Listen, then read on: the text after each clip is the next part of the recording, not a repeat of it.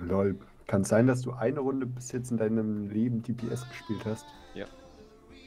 Lol. Und das war. Gut, ich habe drei Jahre gebraucht, bevor ich mal DPS gespielt habe. Ja. Das war sogar, da habe ich hier das Phil reingenommen.